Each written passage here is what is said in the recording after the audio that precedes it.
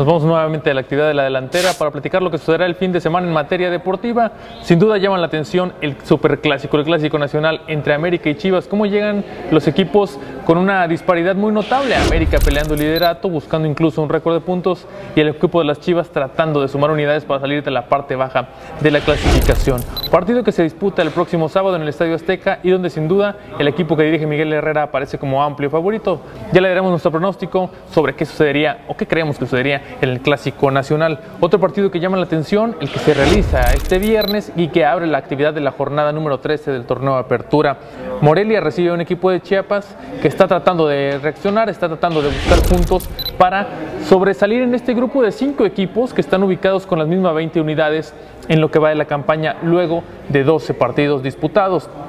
El equipo de Morelia ubicado en la quinta posición, el equipo de Chiapas una por debajo de la escuadra que dirige Carlos Bustos. Llama la atención este partido, es atractivo, a ver qué sucede en las acciones que se van a realizar en el Estadio Morelos, cancha del equipo Purépecha. Otro duelo que llama la atención, los Tigres reciben en el Universitario al conjunto del Toluca, que como vimos el Toluca el fin de semana pasado vapuleó al equipo de Atlante 7 por 1, mientras que los Tigres cayeron eliminados apenas a mitad de semana frente al Monterrey en los cuartos de final de la Copa MX, un partido emocionante por la forma en que se dio el pase del Monterrey, Tigres iba ganando 2-0, le empatan en tiempo de compensación 2 por 2 y en penales Monterrey avanza a la semifinal, ya son cuatro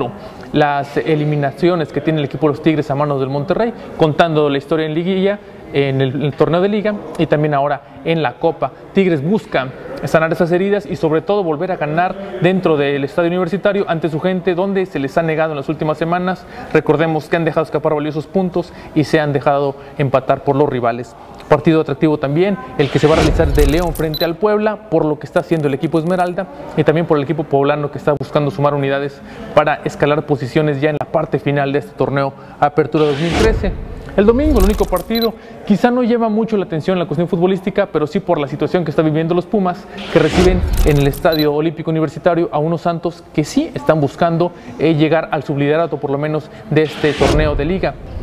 Unos Pumas que quedaron eliminados también en la Copa MX, cayeron frente al equipo del Atlas, una situación preocupante y desesperante la que vive el equipo universitario. Se buscaba o se esperaba que tuvieran una reacción en este torneo de Copa, finalmente no se dio. Nuestra recomendación en cuanto a la europea, los partidos que se van a realizar en el viejo continente y que llaman la atención para seguirlos de cerca, el duelo entre Liverpool y el Crystal Palace y también lo que sucede con el Manchester United, donde recordemos que no va muy bien en cuanto a la Champions League, van a jugar de visitante frente al Sunderland esperando que Javier Chicharito Hernández tenga algunos minutos, algo de actividad en esta competencia en Inglaterra, mientras que en España les recomendamos el duelo que se va a realizar entre el Rayo Vallecano y la Real Sociedad. ¿Por qué? Porque podría haber un enfrentamiento entre mexicanos, Carlos Vela, que marcó gol en la Champions League, van a visitar al equipo del Rayo Vallecano, donde finalmente ya debutó hace una semana Neri Castillo en este conjunto de Madrid. Son nuestras recomendaciones de la europea y también recordarle que este domingo el Gran Premio de Corea que se realiza de Fórmula 1